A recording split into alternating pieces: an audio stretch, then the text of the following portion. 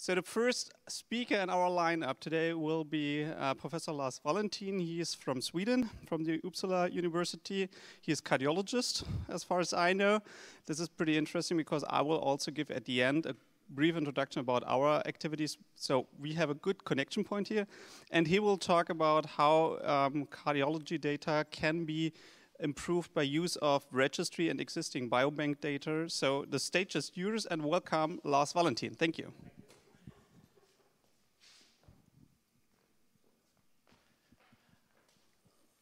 Thank you. It's a pleasure to be here. And I seems to be the only representative from the Scandinavian countries. So let me tell you anyway how we have started to use uh, and generate big data. So this is where I am working. I am. Um, is this a pointer somewhere? No, no. M maybe not.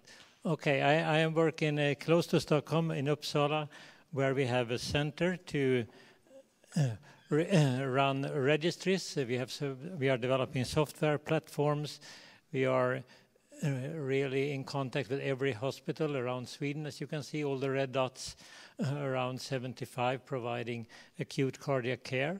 We also collaborate globally with leading cardiology centers in clinical trials, trying to generate evidence for new medications and new devices, and also closely connected to the hospital facilities and the basic science facilities in Uppsala, trying to develop new knowledge around biomarkers and genetics.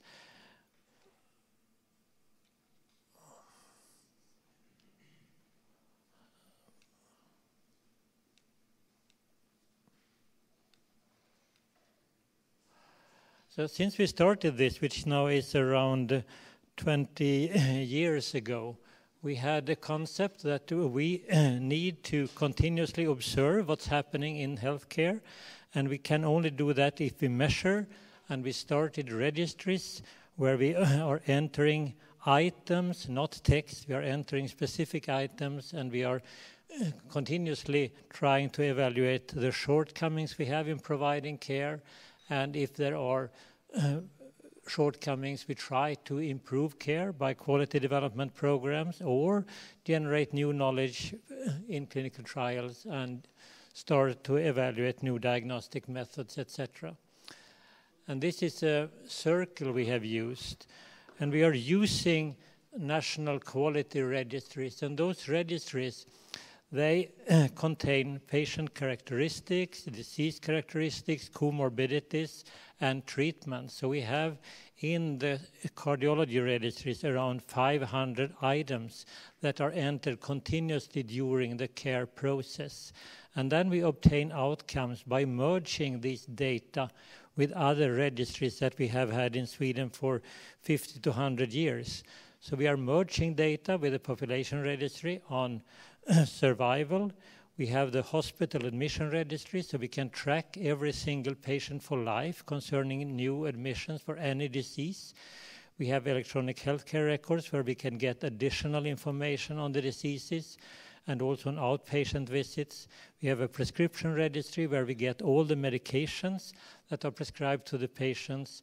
And therefore, based on this Swedish system with unique personal numbers, we can really track a patient from the first admission until death.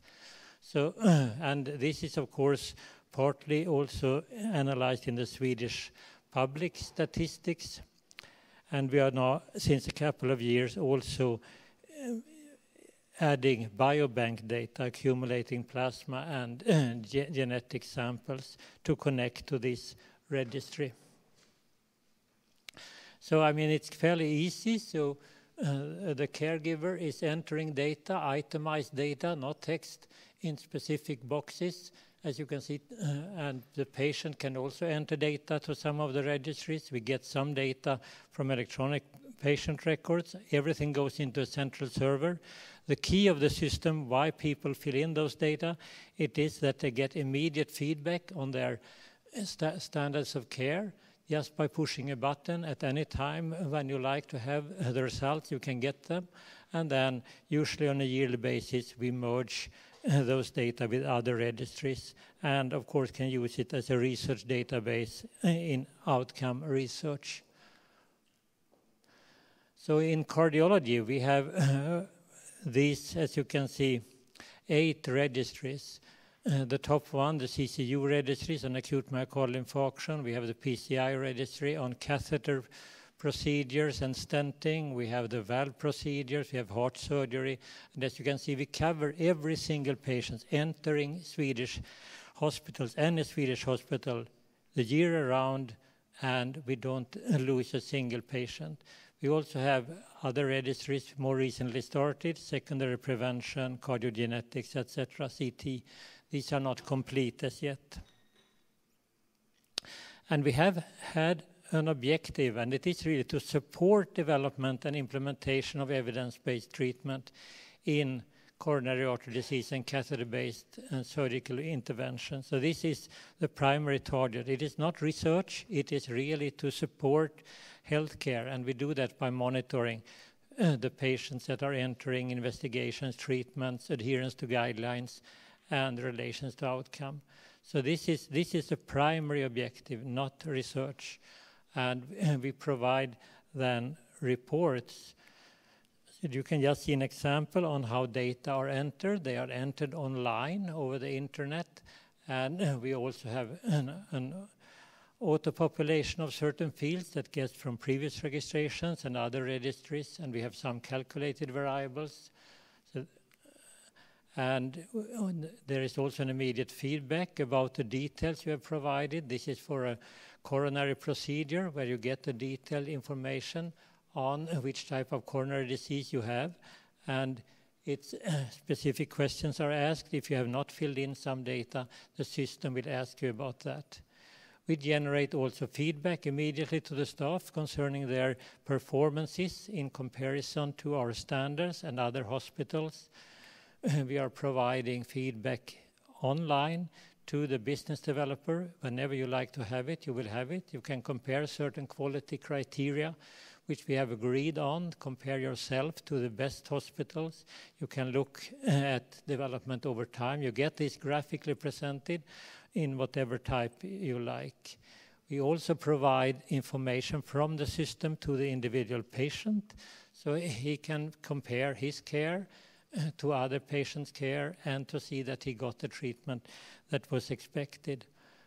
And we also provide information to the public, to politicians, so the system generates reports, and every hospital is openly reported, so therefore you can compare openly the performances of every single hospital, uh, which is a very important part of the system.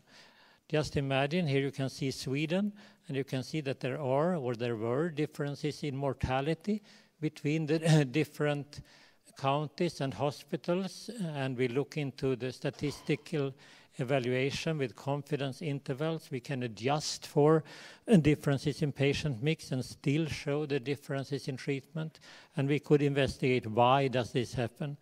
We, we, we like the differences because that's kind of a learning tool for us, how we can further improve and look into which are the possible reasons for the differences and we have developed a quality, quality index more than 10 years ago now.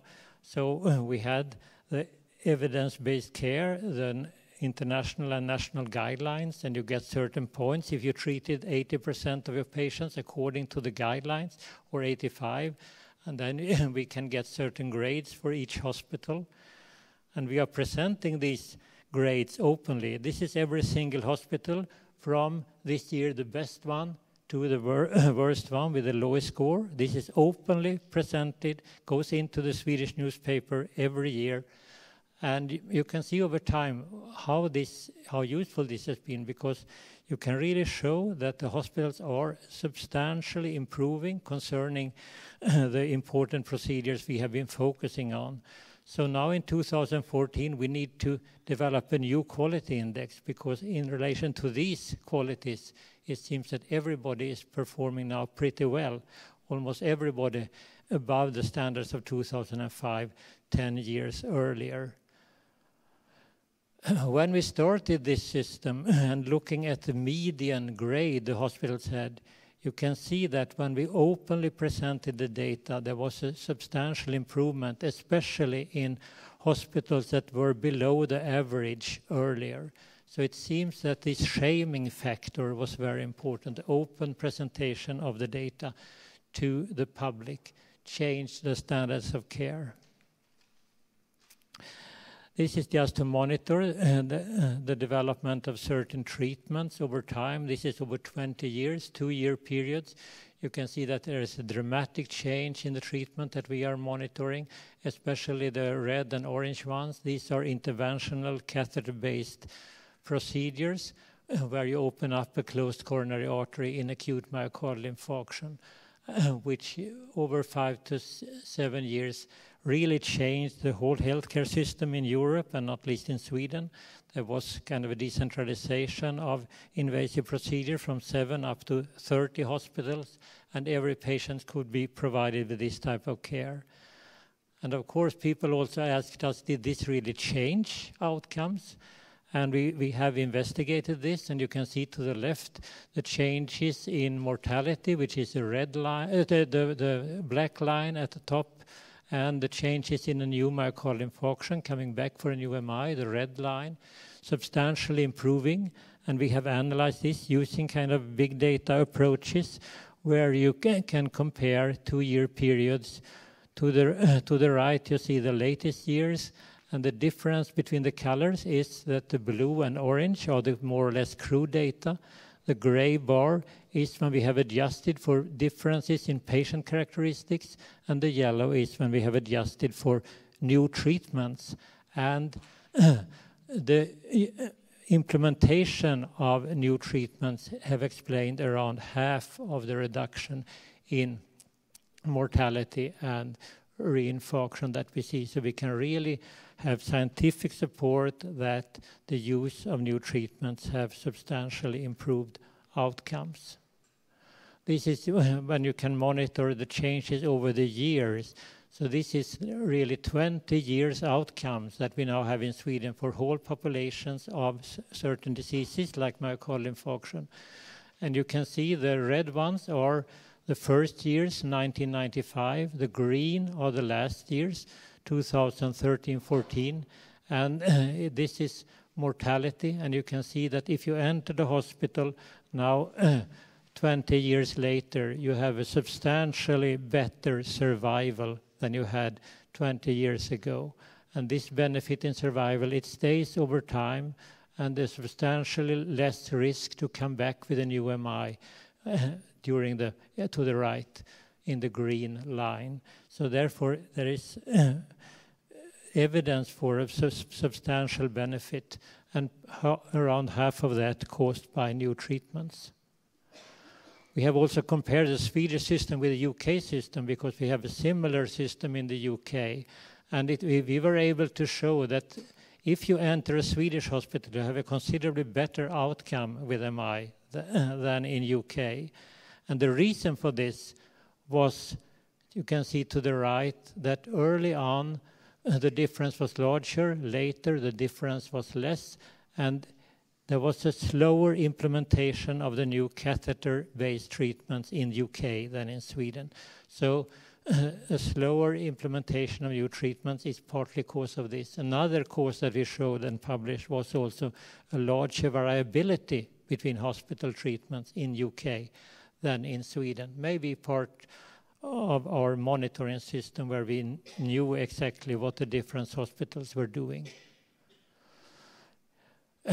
we are also participating in randomized clinical trials. This is just a trial showing that one treatment, ticagrelor, is better than another, clopidogrel. You can also monitor then the implementation of the new treatment. If we have make a decision in the healthcare system that we should change, see the green line, which is a new treatment coming in 2011, dramatically over only one year, switching to the use of the new treatment in comparison to the other. And we have also used that to show that the event rates are further reduced by the implementation of just this treatment in real life. One way that you also need one tool that you also need in the system. It is to perform a randomized trial. Even if you look back, we have hard to really provide hard evidence that some new treatments are better than others, especially if you don't have a sponsoring pharmaceutical company. So we have started to randomize in the registries. So then we approach every hospital in the registry. We get an agreement that we have an open question that needs to be resolved.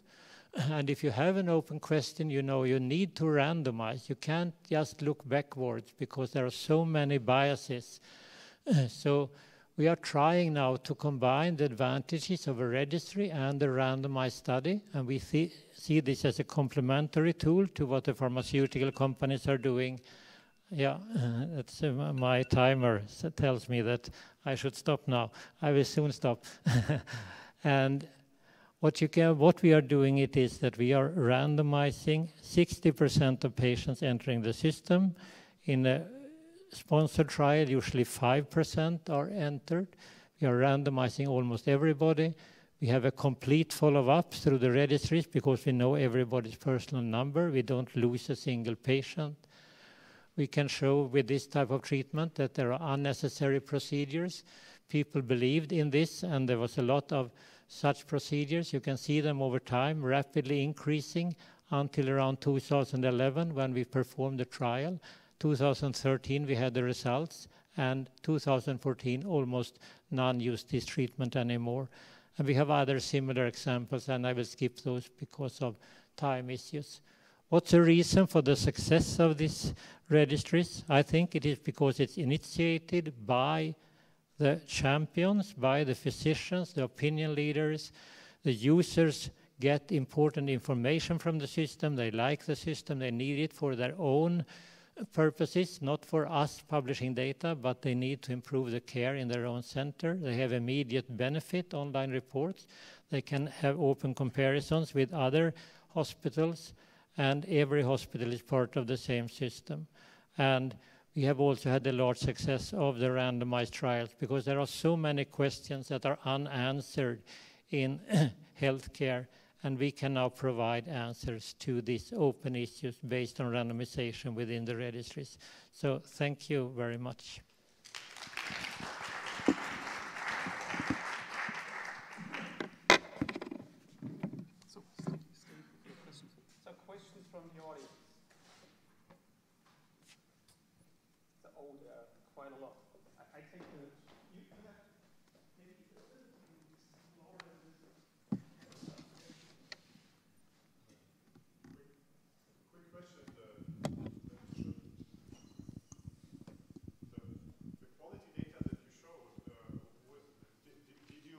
Compare the parameters that the hospitals had in quality testing versus outcome? Yeah, well, we are uh, we are comparing uh, the electronic patient records versus the data in our registry, and, and we have around 95% filled in and correct data. So we have 5% with either missing data or uh, or incorrect data in the registry. Um, so so the but was that what you asked, or? No, because you showed data on one hand where you showed the survival per was yeah. that province or hospital, and on the other hand you showed the quality, so say the structural quality data based on your scores. And so I was just wondering, do they correlate? Uh, yeah, the scores. There, I mean, we, you cannot compare individual scores, but you can compare. If you compare the third of hospitals with the highest score, they have better outcome than those with the worst scores, yes. No, no, no, no, sorry for not understanding. I have a question about the, the benchmarks of the hospital. How did they react? Uh, I'm thinking uh, uh, about the one that are below average, where you challenge about your methodologies and your standardization, and how how did you face those uh, reactions? Uh, it's, a, it's a process of uh, maturation because when we started this 2007, uh, when we started the registries in 2000, 2001, there was an agreement that we should never expose the data publicly. So that was the first agreement. But then, in accordance with Swedish law, if you have public data, anyone can ask for those data. So therefore, the journalist approached us, and first we said no, but then we had to expose the data on an individual basis. So we decided among ourselves, okay, let's expose them. And, and, and that was extremely helpful. But the first years we had a problem because the birth centers, they always said the data are wrong. and, uh, or that they did not, they haven't, hadn't filled in complete data, or that they entered the wrong patients. But our argument was, look, this is a professional uh, enterprise you have. I mean, look into your data. If you have filled in the wrong data, please fill in the correct data. If you have incomplete data, please do as the others. Look into, the, there is a signal here that something is not working well in your system. And, and don't look at this as a grading, look at it as a tool. And, and also, because we, now, we are now publicly presenting data concerning 100 different disease areas. So even the public, they have now learned in Sweden that we always have these differences in care providing. I mean, we have large differences in cancer care nowadays, which are very much discussed. We are using different treatments in different centers. You are also in your country, but you don't know it. So we opened up this knowledge that we have differences in care, we have differences in outcome, and these are not surprisingly connected. And there are many reasons, and this is a tool, and, and I think the standards of care are improving. Yeah, but this is a good point. Thank you very much, um, Professor Wallentin, because we are running a little bit out of time. But the key message is open data is important. Uh, what you can't uh, measure you can't improve, right? So it's it's a very good statement. Thank you very much, and it brings us also to our next speaker of the afternoon. Um, we, we, just heard about cancer care, so we are switching now to a different field, which is um, how to improve cancer treatment. Um, we are now turning to Moritz Gerstung. He is working at the EMBL EBI. He is um, software engineer by training, I believe. So he is working in the bioinformatician department, and he will share how to improve the um, precision oncology vision from a practical perspective. Thank you very much, and the stage